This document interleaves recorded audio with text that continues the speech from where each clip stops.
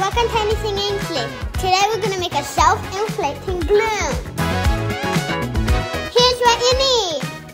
Vinegar, plastic water bottle, baking soda, balloon, and a funnel. Let's get started. Step one, put the balloon on the funnel and then pour the baking soda in. Step two, use the funnel again and pour the vinegar in the plastic bottle. Step three, carefully stretch the balloon on the bottle. Pour the baking soda into the vinegar bottle.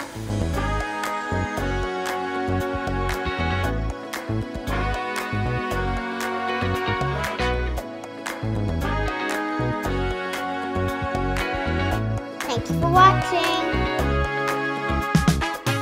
Forget to subscribe.